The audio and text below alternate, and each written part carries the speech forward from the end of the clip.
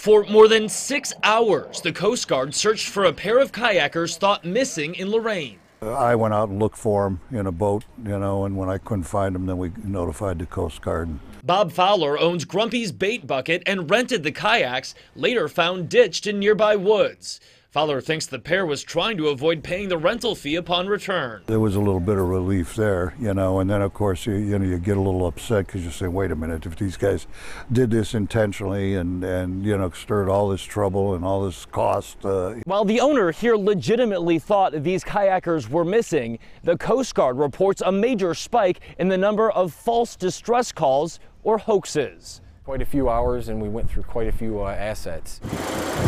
The Coast Guard reports more than 160 false distress calls on the Great Lakes so far this year, compared with 55 last year. Some accidental, others intentional. Mayday, Mayday. We got a plane going down. The Coast Guard says a response boat can cost $4,500 an hour, a helicopter up to $16,000, and a plane 38,000 bucks per hour. It's, it's no laughing matter.